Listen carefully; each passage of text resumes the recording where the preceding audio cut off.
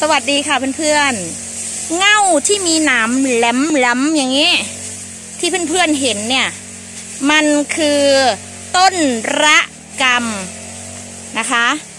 หนามแหลมชนิดที่แบบว่า ขโมยไม่กล้าเข้า ดังนั้นใครที่มีสวนที่มีพื้นที่มากๆ ต้องการรั้ว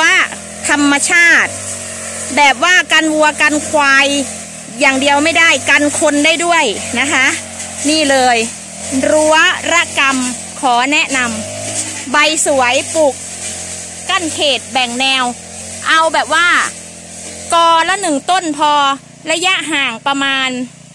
ระยะห่างถ้าจะเอาแบบถี่ยิบไม่ให้ไม่ให้คนมุดเข้าอะหนึ่งคูณหนึ่งไปเลยนั่นเพื่อน นี่นะ นี่นะ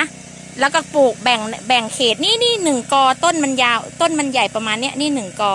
แต่เผอิญตรงนี้มันขึ้นลักษณะที่ว่ามันจะแตกไหลหากันนะเนาะถ้าเราอยากประหยัดไอ้ไอ้นี่แล้วก็ใช้ระยะห่างหนึ่งคูณหนึ่งหรือสองคูณสองเดี๋ยวมันก็ลามไหลหากันเองนะ ใครอยากจะได้พันละกรรมไหมศูนย์แปดเจ็ดหกศูนย์หกเก้าเก้าห้าห้าไอดีไลน์ A U N G S A R A ศูนย์เก้าอังสราศูนย์เก้ากับระกรรมเปรี้ยวเปรี้ยวทำกับข้าวได้ ปลูกกั้นเขตแบ่งแนวกันคนขโมยของและแอนกันสัตว์ ขอบคุณค่ะ สวัสดีค่ะ